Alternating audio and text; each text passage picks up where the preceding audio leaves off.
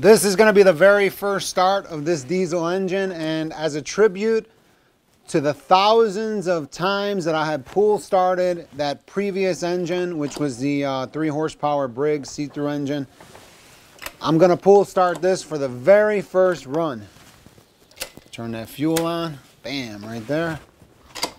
And usually these engines are really hard to start. I don't know about this particular brand because I've never started one of these, but we're going to see.